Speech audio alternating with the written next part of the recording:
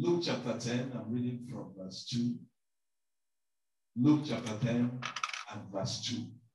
From the King James Version, the Bible reads like this Therefore said he unto them, The harvest truly is great, but the laborers are few. Pray ye therefore the Lord of the harvest that he would send forth laborers into his harvest. Amen. Amen. We started on this very topic, God's harvest, during the night vigil, for those who were there. And we said there are certain things, we call them keys, that we need to note in this word for this month. And the first key we looked at was that Jesus, the Word of God, is the one speaking here. And he is the truth, and whatever he says is settled. The Word of God is true, and whatever he says is settled. And the second thing we spoke about was that now that we have identified who is speaking, the second key was that he's telling us that the harvest is of the truth great. Amen. And we took some time to try to see what is the correlation between the harvest and Jesus talking to his disciples and even to us that we, we need to do something because there's something great about to happen. And we went to Genesis chapter 1, from verse 26 to 28, Genesis 1, 26 to 28, where we identified the Bible speaking, saying, God created us in his image and after his likeness. And then after creating man, he now blessed man. And after blessing man, he now commanded man. The Bible tells us God blessed them in verse 28 and then said unto them, Be fruitful, multiply, replenish, subdue, and have peace. And I told us over Friday night that this is the mandate that God has given us. And God did not just give us this mandate as his creation, as man, as man or woman. He gave us this mandate after giving us what we need to achieve it. For before God said unto man, Be fruitful, the thing the Bible tells us he did first was that he blessed them. Bible says male and female created in them, and then he blessed them. To bless there means that God gave a command to all forces, whether spiritual or physical, whether in the heavens, on the earth, or underneath the earth. By blessing, God gave a command to all those forces to begin to work together for your good, for my good, so that we can fulfill this mandate that God has given us. The mandate to be fruitful, the mandate to multiply, the mandate to replenish, the mandate to subdue, the mandate to have dominion. And we dug a little bit into that second key.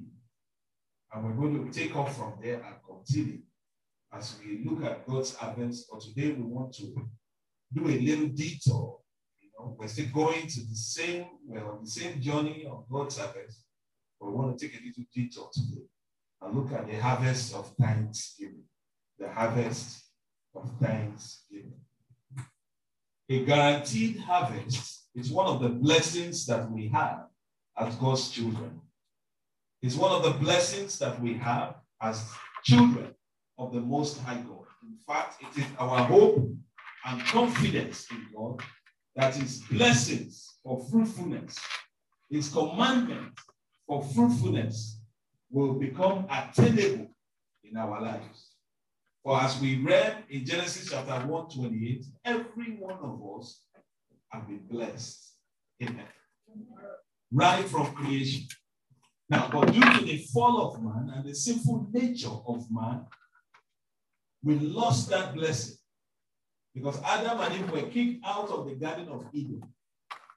And they started operating. It was after they got kicked out that you see the effect of the curse that God placed on them begin to operate. But then, because God so loved us, He sent His only Son, Jesus Christ, to bring us back to that blessing. That's why the scripture says, if any man be in Christ, he's a new creature. He's a new creature.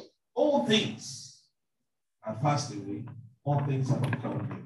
And part of those things that become new is that you now have that blessing to be fruitful, to multiply, and every other thing that accompanies that accompany, uh, accompany the harvest. And that is why I know that in this month of God's harvest, you will be fruitful. In whatever area you are trusting God for increase, for fruitfulness, whether physically, spiritually, business wise, you will be fruitful. In the name of Jesus. Always we need to remember that the price for our redemption has been paid. The price for our redemption has been paid. Outside of redemption, we cannot see the harvest. Talk more of entering into the harvest. But Jesus told uh, Nicodemus, except a man be born again, he cannot see the kingdom of God. And that kingdom is filled with fruitfulness. So except a man be born again, he cannot enter into the kingdom. So once we have surrendered our life and received the salvation that comes through the Son of God, Jesus Christ, we now have access to God's harvest. We enter into the harvest of the Almighty God. And our response as individuals, as families, even as a church, must be one of sincere gratitude must be one of sincere gratitude to God. And one way we can show our gratitude to God is through our sacrifice of thanksgiving. Our sacrifice of thanksgiving. The way we thank God determines how grateful we are, how much we appreciate Him.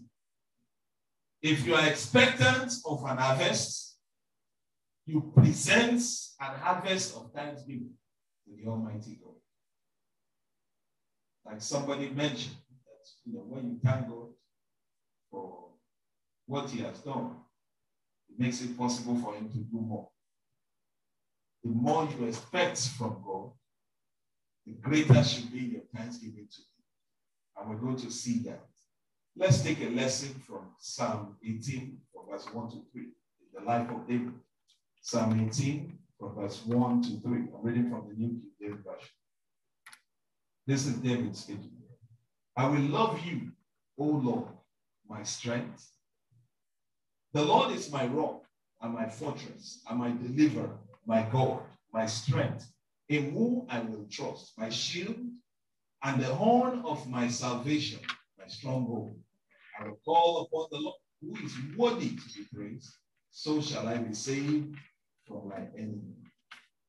Our response of thanksgiving is based on two inseparable factors, two things that need to be there for your thanksgiving to be one that is acceptable to God, one that brings him pleasure.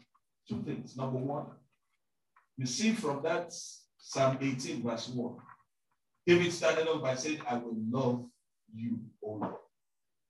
The first factor is love. Love. Love. And in this Psalm 18, that word translated love, it means to love deeply.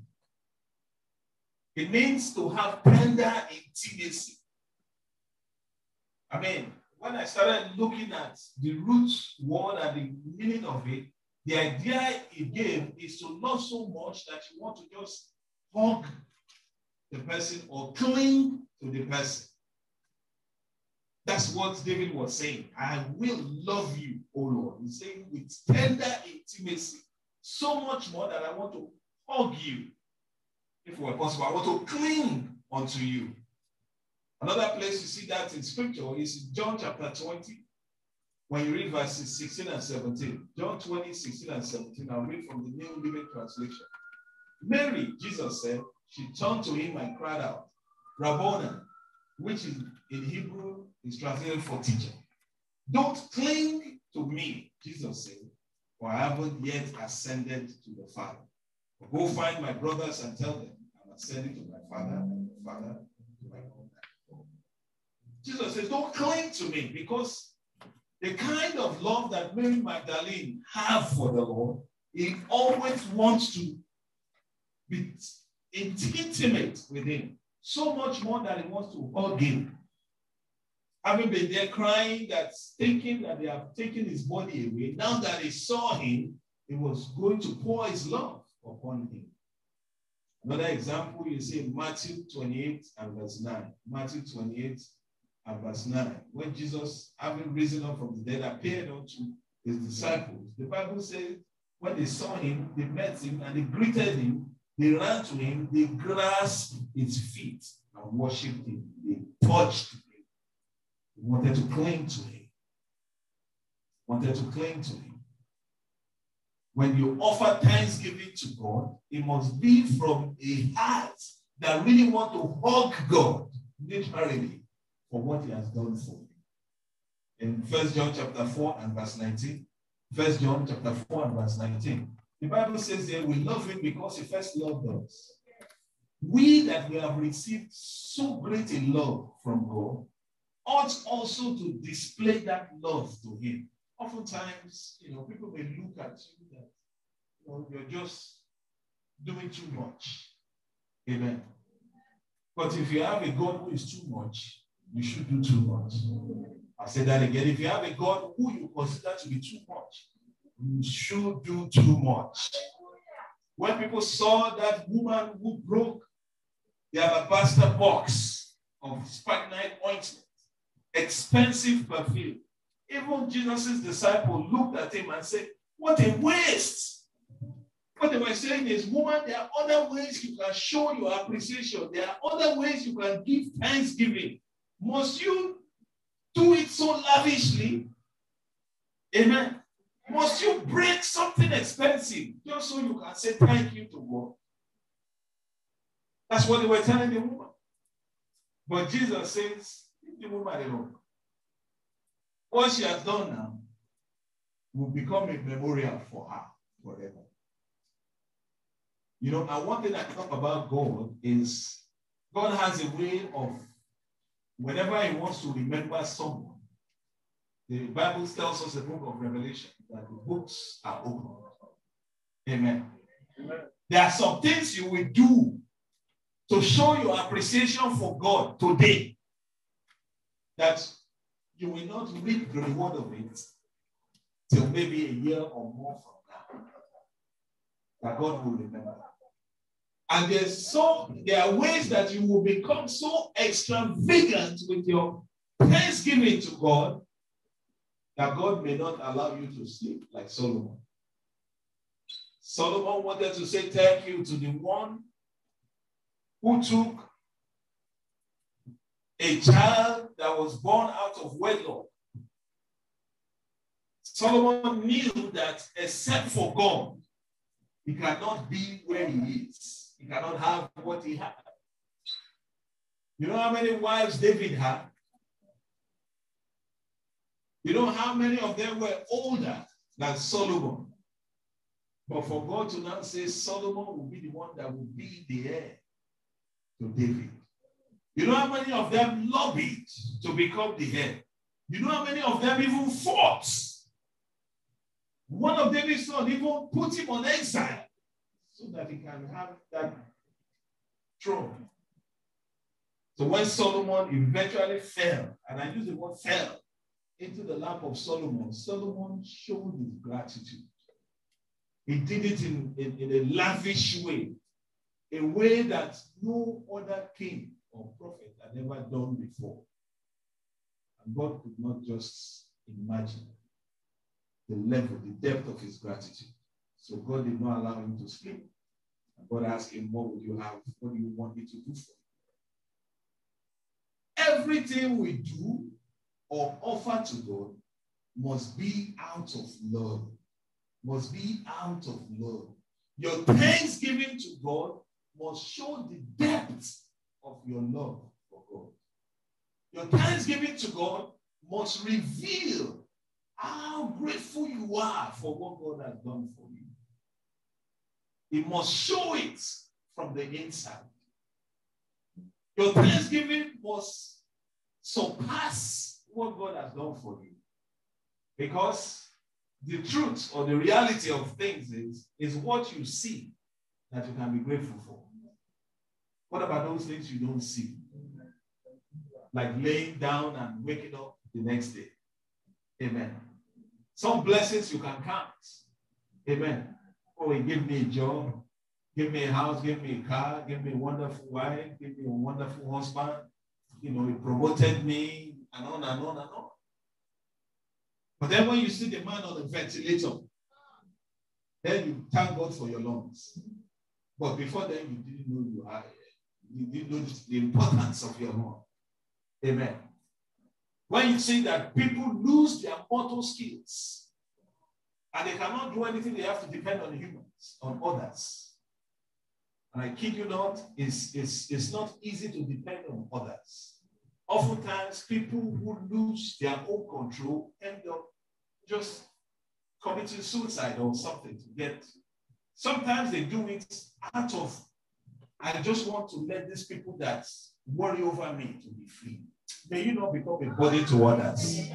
Bow your heads. Pray quickly. Say, Father, in the name of Jesus, help me not to become a source of sorrow to anyone. Help me not to become a body to anyone. In the name of Jesus. Pray, pray from the depth of your heart.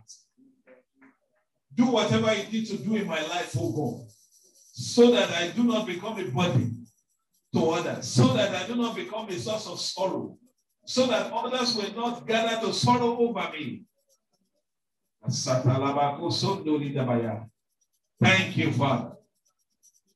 In Jesus' precious name, we are praying. Bible says our labor of love in God's vineyard shall not be in vain. As a pastor, even as a minister, before I became a pastor, even as a pastor, that was one thing I realized in my relationship with God that made me who I am. And at the same time, others could not fully comprehend. You know, when you are in the midst of pastors that, you know, if workers offend, people offend, they out punishment. Amen. Praise the Lord. They are so strict and disciplinarian. Amen. I, I have come to realize that when you discipline somebody, two things can happen. Number one, if you discipline them that they are not doing what they're supposed to do, they should start doing it.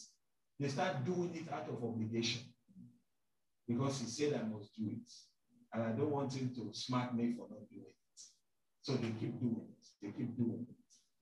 The other thing that can happen is that based on the severity of the punishment or the discipline, they could develop a thick skin. So what's he going to do? He's just going to punish me. He's just going to discipline me. And it does not get them to do what they want to. That's how Paul felt. After he found out that a man committed incest in the church and they didn't do anything to him, tell them to hand him over to Satan, kick him out. But after a while, he prayed and then he says, please go and bring him back. Amen. We don't want him to be lost. Because, but when you fully understand the depth of love that God has for you, Whatever you do for him will be out of love. And you see, love makes you want to do way beyond what men will expect. I'm sure you would have noticed that those people who truly love you, who truly love you, who beyond every reasonable doubt, you know that they love you, they are the last people you want to offend. Because even when you accidentally do something wrong to somebody who loves you, your heart will, be heavy break. Will break. That's when you want to cry for, for forgiveness, it, it, it, it's from the depth of your heart.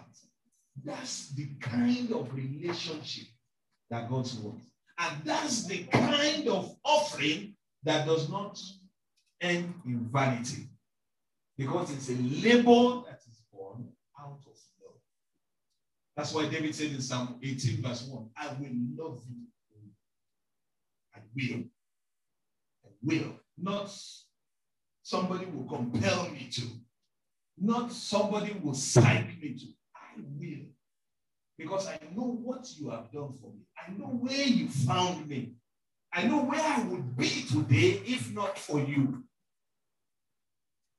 But because you love me, my thanksgiving to you must come from a sincere heart of somebody who knows the depth of love that God has. In First John chapter 3, 22 and 23, First John chapter 3, 22 and 23. The Bible reads in New King James Version like this And whatever we ask, we receive from him. Because we keep his commandments and do those things that are pleasing in his sight. And this is his commandment that we should believe on the name of his son Jesus Christ and love one another as he gave us.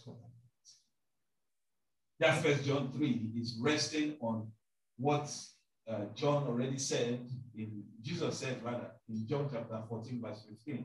John 14, 15, where he said, If you love me, keep my commandments. Amen. If you love me, keep my commandments. You want to show you love me, do what I ask you to do. Same thing, Mary, the mother of Jesus, at the wedding in Canaan, told the servant, anything he asks you to do.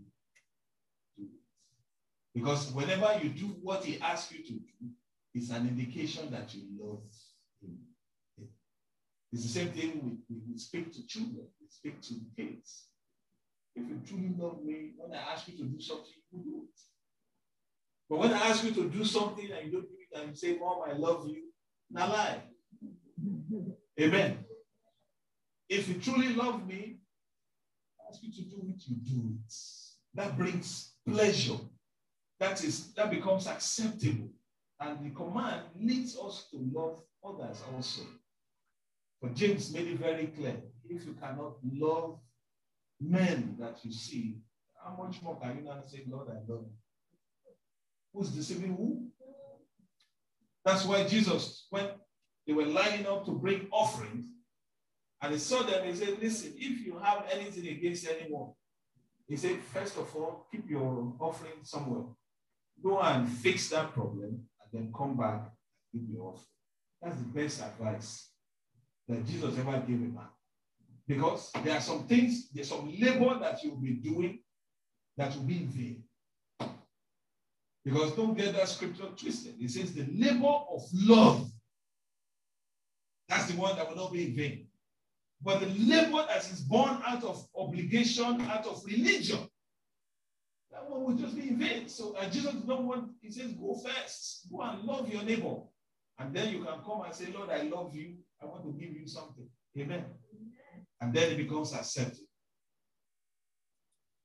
Your thanksgiving must rest on that first factor, which is love.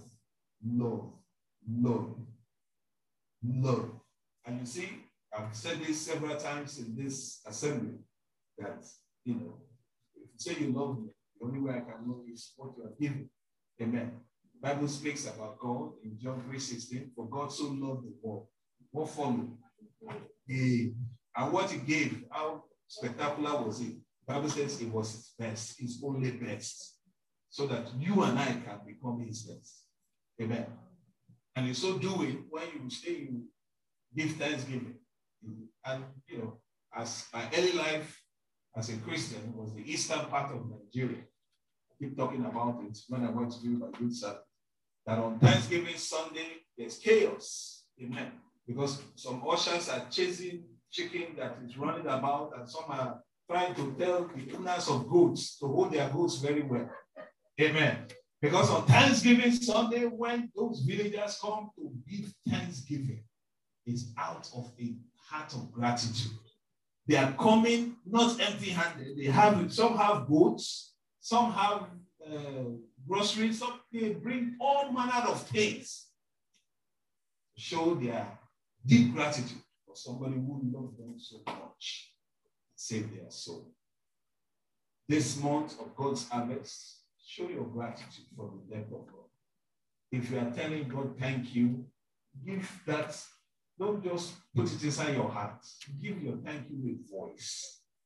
Make it as loud.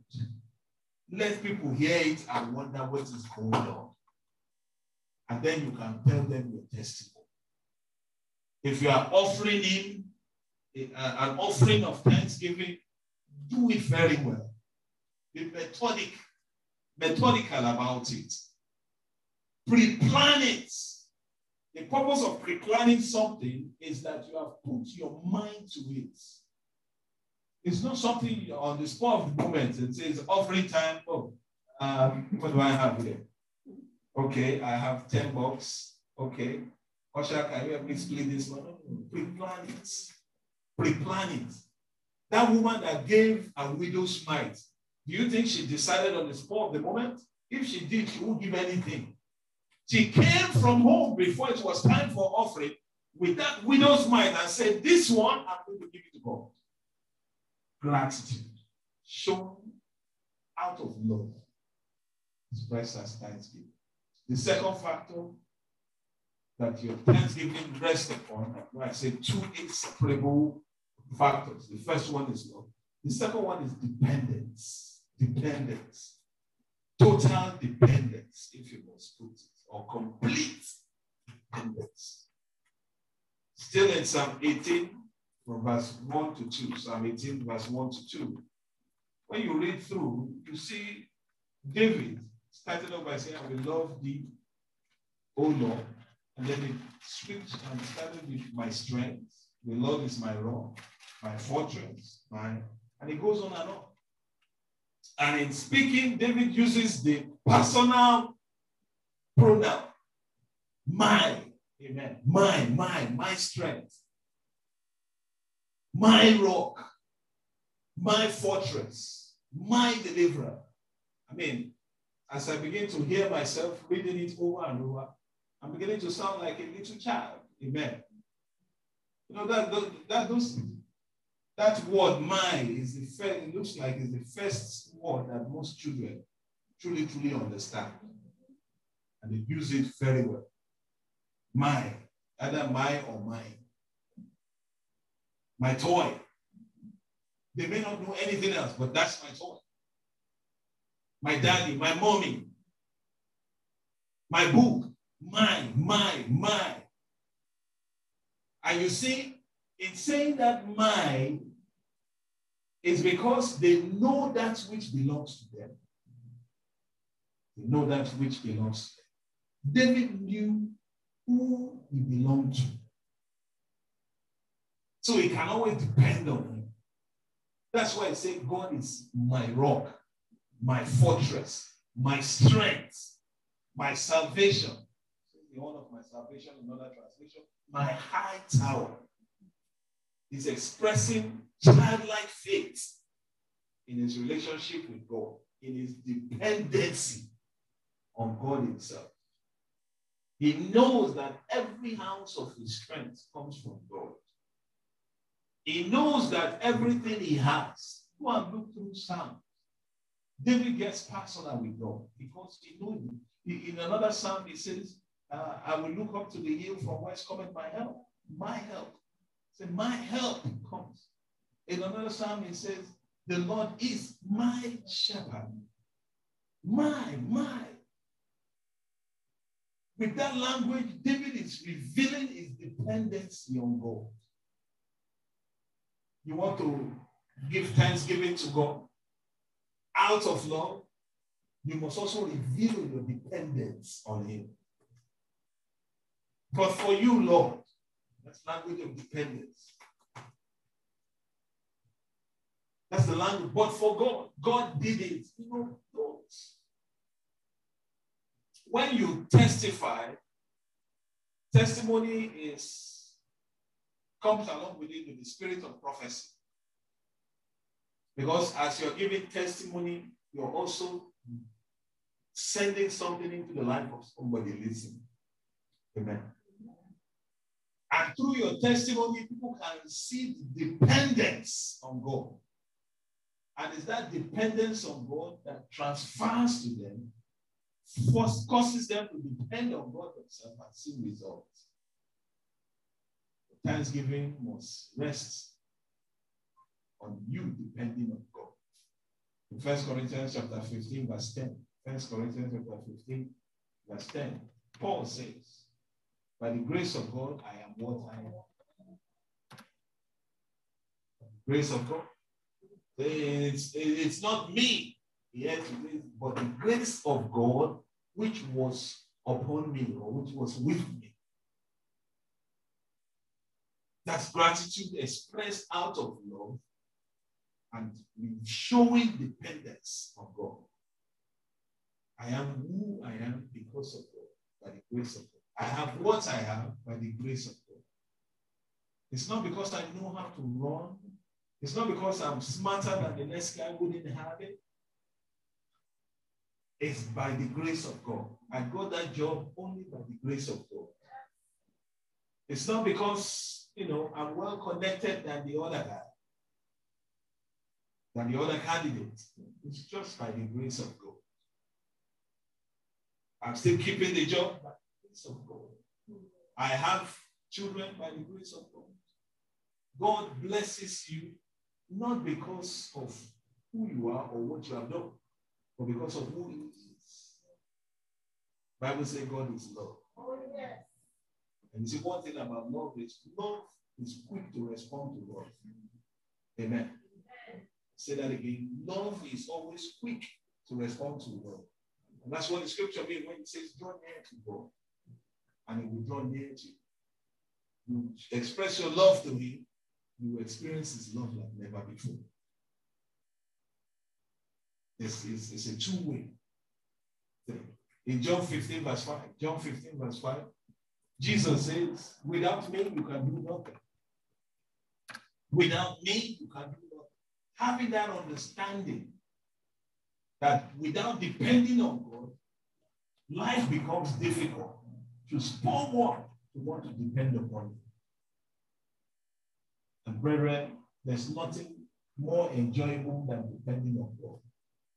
I mean, I'm like a little baby in a stroller when it comes to dependence on God. I hope you guys understand what I'm talking about. A little baby in a stroller the baby just lies there. It's the father or the mother that worry about covering it so that the sun will not touch that baby. Amen. The Bible not say the sun shall not smite you by day. Oh, it's because as far as God is concerned, you depend on him like a baby in a stroller. The baby in the stroller is not worried about the traffic. He's not worried about how he's going to get in the house. When it's time to get in the house, Dad or the mom will mostly be there. Will click and then carry the baby in. Amen. Amen. Praise the Lord. Maybe the shoulder feel uncomfortable in little shifts and just cries. What happened? The parents they try to find out what is wrong. Try to make the child comfortable.